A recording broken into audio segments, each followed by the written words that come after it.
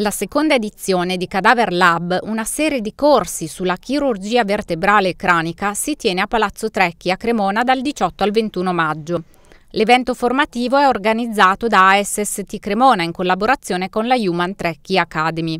I corsi saranno tenuti anche da famosi relatori internazionali che presenteranno le tecnologie più all'avanguardia in ambito neurochirurgico. Tra questi Shane Tubbs, uno dei più importanti neuroanatomisti al mondo.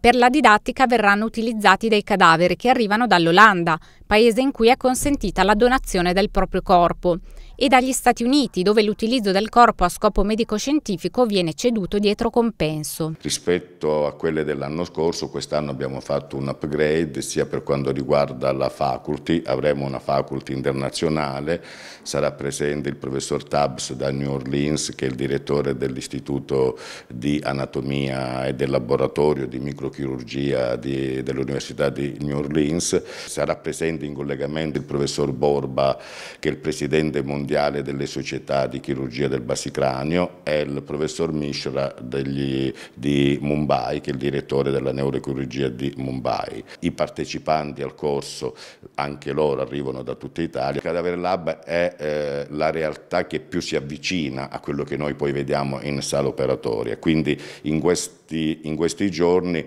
eh, proporremo l'esecuzione di procedure chirurgiche estremamente complesse, sia per quanto riguarda la chirurgia vertebrale che per quanto riguarda la chirurgia cranica. L'obiettivo non si ferma a queste quattro giornate, ma si vuole far diventare Cremona sede nazionale ed internazionale di formazione permanente per giovani neurochirurghi. Soprattutto quello che quello che è il nostro obiettivo un po' ambizioso è quello di trasformare eh, in collaborazione col Trecchi questo appuntamento come un'accademia di formazione continua e permanente per i giovani neurochirurghi.